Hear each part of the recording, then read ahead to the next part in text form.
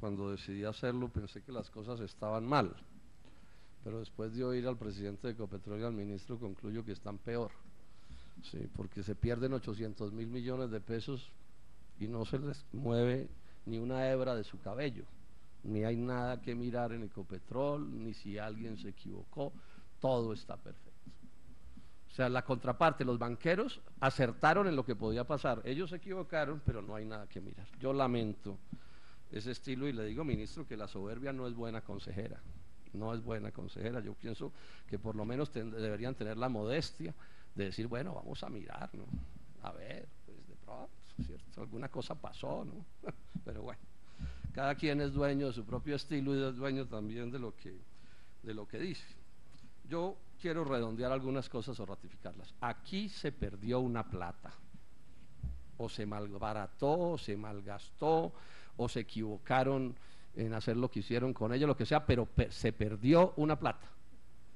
O sea, si esta operación no se hubiera hecho, si estas dos operaciones no se hubieran hecho, había habido 800 mil millones de pesos más para repartir entre los accionistas de Ecopetrol. De eso le habían tocado noventa y tantos mil millones de pesos más a los accionistas privados, que creo que no es una suma despreciable, y el Estado tendría, digamos, 700 mil millones de pesos más para ponerlos en números redondos. O sea, la plata se perdió. Esa es la primera cosa que tiene que quedar clara. Ahora, que digan que no sé qué, bueno, pueden decir lo que quieran, pero que se perdió, se perdió. Sin estas operaciones, la distribución de regalías había sido 15 y medio billones de pesos, pues de, regalías no, de utilidades, había sido 15 y medio billones de pesos más 800 mil.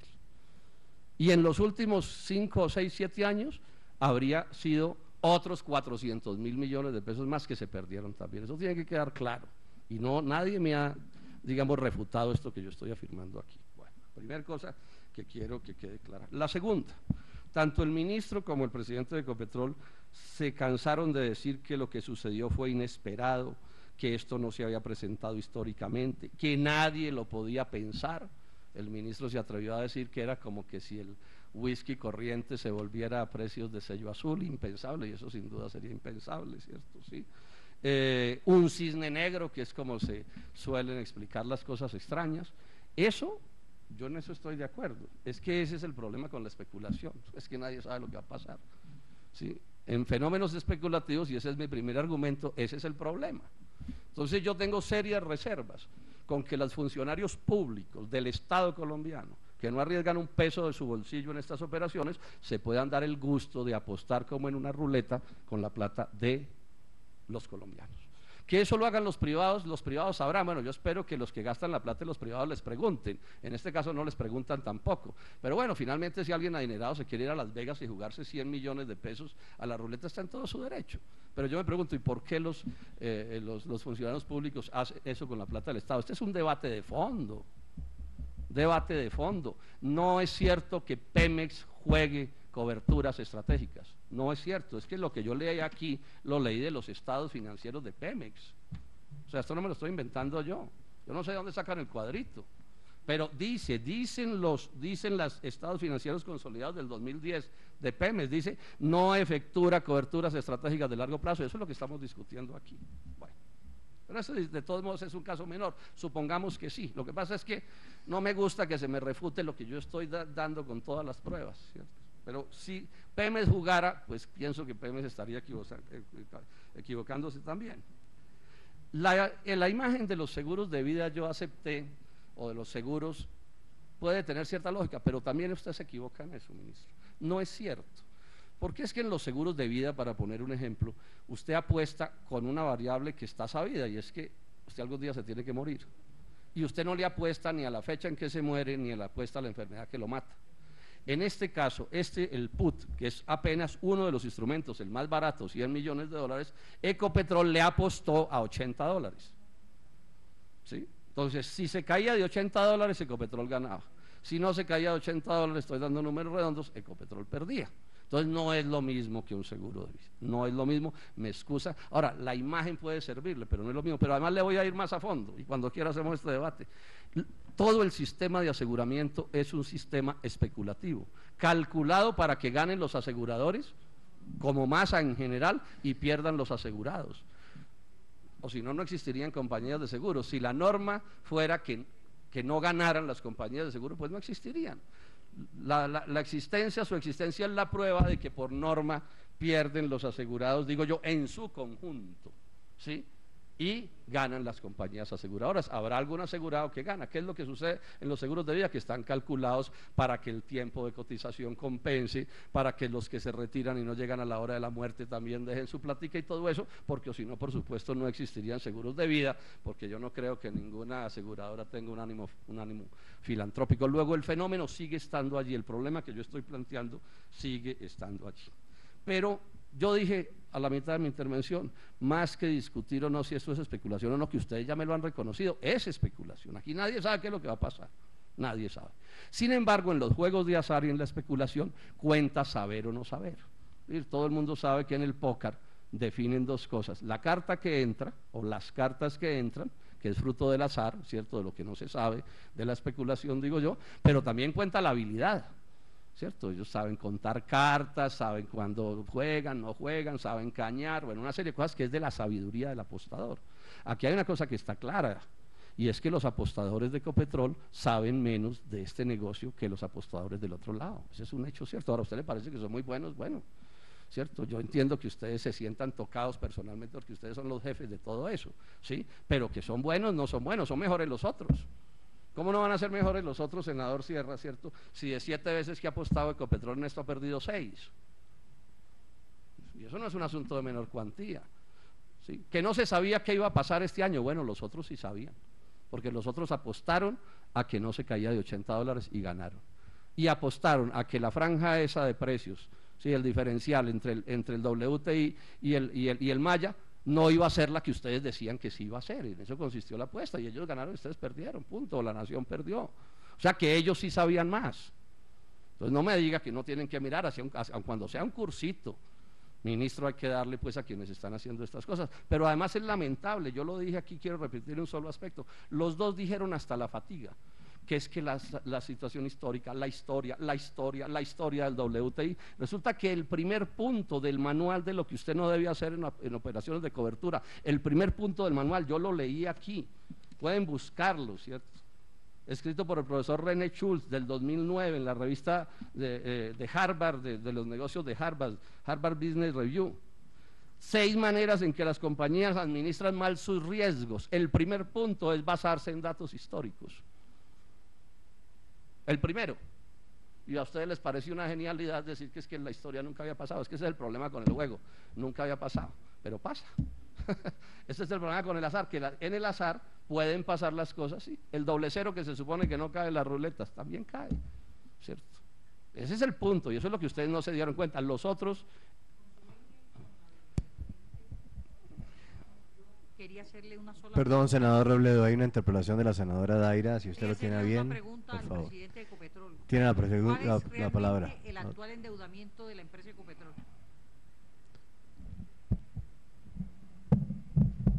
Endeudamiento financiero, senadora, son 6 billones de pesos. O sea que corresponde, digamos, en números de billones de pesos, 6 billones, que corresponde alrededor de unos 2.800 millones de dólares como endeudamiento financiero, financiero, para un total de activos que está por encima de los 90 billones. O sea que tenemos un endeudamiento que es inferior al 7% financiero, financiero. Para retomar el hilo, empiezo por decir esto, no se refirieron a otra cosa que es muy grave, y es que ustedes usaron como contrapartes gente que no cumplía los requisitos de la empresa para las contrapartes. Eso lo, digo y lo repito. O sea, tendrían que tener contrapartes calificadas por encima de A más y no las tenían, no jugaron con ellas. Y eso me parece grave. Me parece también muy grave que hayan superado lo que estaba decidido a arriesgar. Ese es otro error garrafal, señor ministro, usted lo sabe. Yo repito, la soberbia no es buena consejera. ¿Cómo así que juegan con contrapartes que no cumplen las normas de Copetrol y eso no importa? No le merece ningún comentario.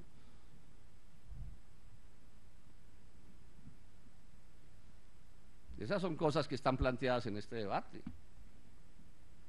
O cómo así que superan lo que podían perder. Esta es una cosa que está también en este manual que les acabo de leer y en todos. Usted tiene que definir cuándo va a perder y perdieron cuatro veces lo que habían autorizado perder. senador Mora. Estas son cosas que están pasando. Lo del Cushing me lo van a despachar como si nada, yo lo lamento, pero si hay una cosa pedrera, obvia de ver, es esa. Porque yo puedo entender que uno no sabe si está en una guerra mundial o no, un terremoto, un volcán, bueno, cierto. Pero que ahí se iba a atorar la producción del WTI, lo veía cualquiera. Es más, los mismos informes de Ecopetrol dicen que desde el 2010 se sabía que eso iba a pasar y pasó. Y ustedes apostaron como si eso no fuera a pasar. Y eso tampoco importa, señor ministro. O sea, una cosa tan protuberante como esa, no importa que no la vean los técnicos que están definiendo eso, no importa que no la vea el presidente de Ecopetrol, no, es que aquí hay demasiada plata en juego.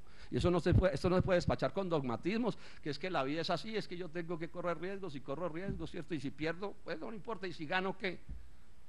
Si hubieran ganado, estarían diciendo ganamos, sabemos apostar, subimos, supimos hacer la, la cobertura, no sé cuánta plata le salvamos al país. No es cierto que los swap estén cubriendo físicos, no es cierto, el put sí, pero el swap no.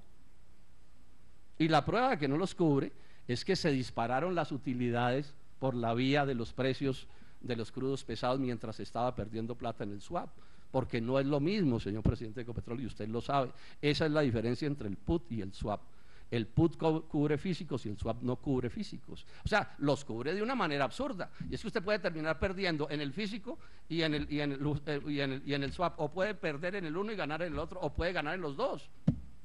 Porque no están conectados, no son barriles de petróleo lo que se está protegiendo. Y eso fue lo que les sucedió, que perdieron hasta la camisa en el swap y ganaron en el físico de los crudos pesados. No supieron retirarse. No me diga, ministro, que no importa esta discusión. De mi argumento, refúteme lo que yo estoy diciendo. Pero sabían desde febrero, oficialmente establecido en Ecopetrol, que no les funcionaba la apuesta del swap y la modificaron en septiembre. Y usted me dice que eso no importa, ministro. No, lo lamento. Usted no puede actuar así de esa manera por dogmatismos. Se sabía, se sabía a ciencia cierta desde febrero que esa estrategia estaba fracasada porque el crudo se había reemplazado en la zona de Cushing. Y se debía saber desde noviembre y desde octubre que eso iba a pasar. Cualquier despistado entraba a internet, ponía Cushing y le salía eso.